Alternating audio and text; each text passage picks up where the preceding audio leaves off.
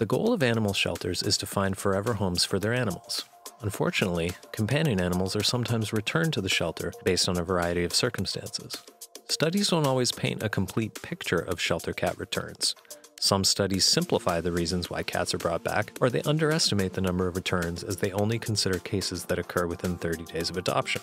This study sought to understand the reasons why people return cats to shelters, focused on factors related to cats such as behavioral problems, as well as guardian issues such as housing and allergies.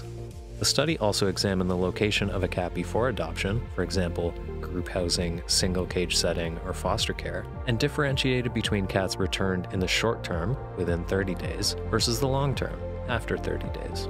Data were collected from a large shelter in the northeastern United States, looking at a total of 2,642 cats older than one year. Overall, 12% of cats were returned within four years of their first adoption. Of those, around 91% were returned once, 7% were returned twice, and 2% were returned three times. Of those returned, 85% were eventually adopted again, while 12% were euthanized and 3% were transferred to another shelter or rescue.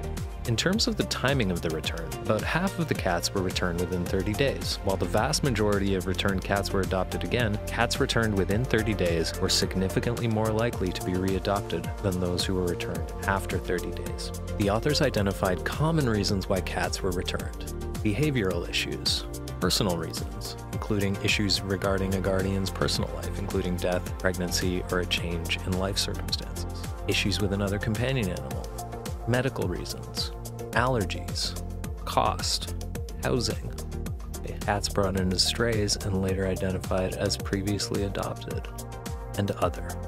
Cats with a bite history were more than four times likely to be returned compared to cats without a bite history, while cats adopted from group housing were more likely to be returned, followed by cats in single cages and cats from off-site locations.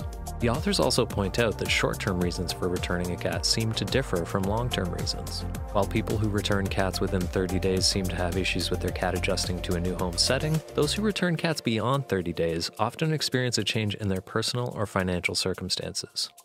It's not always possible to predict when a cat will be returned, but the study suggests several ways that shelters can plan ahead. For example, it may be beneficial to offer programs that provide assistance with basic needs such as food, affordable vet care, and behavioral training. Guardians who are temporarily unable to care for their cats because of homelessness, domestic violence, or a change in circumstances may benefit from temporary foster programs. Finally, vets and shelters can team up to counsel adopters on the costs of caring for cats, the importance of early bonding, and other important information that will prepare guardians for the reality of living with a cat for a lifetime.